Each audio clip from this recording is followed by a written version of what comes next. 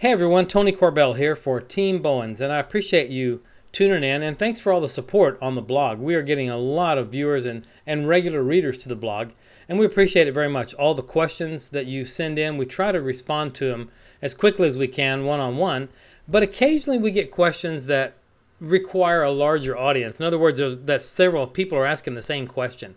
And for those, we do select to, to do these video Q&A, if you will. So today's question is, is coming to us from Gavin uh, in Bozeman, Montana. And his question is, what's the big deal with the importance of shutter speeds when working with flash outdoors? Um, Gavin, it's real simple, and we've talked about this a little bit, and we've touched on it in some of the blog posts, and you'll see it coming up in a in a, in a new um, webinar that I'll be recording shortly in New York, um, and that Joe Joe uh, recently did as well. And so I think you'll find that we regularly will talk about some of these topics and techniques.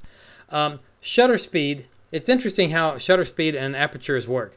And that we live in a world of photography that we call reciprocal. It's a reciprocal nature. So if, you know, 500 at 5.6 is the same exposure as a 60 at f16, unless you introduce flash in an ambient situation. And so those two that were married together with shutter speed and aperture in an ambient situation, that, that bond is kind of broken now when you introduce flash and ambience. And the difference is the flash is completely controlled on your primary subject by the aperture, and the shutter speed takes care of your background, and not just background, but ambience. And that also includes shadow detail.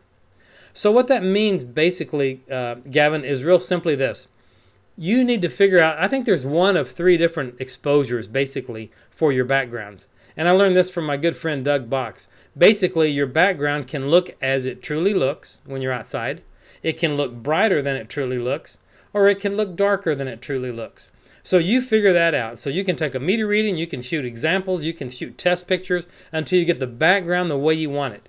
And let's say your exposure is 125 at f16. Then, if that's the way you want your background to look, the answer is very simple. Bring up your flash to read the same. And you're going to have a background and a flash that match.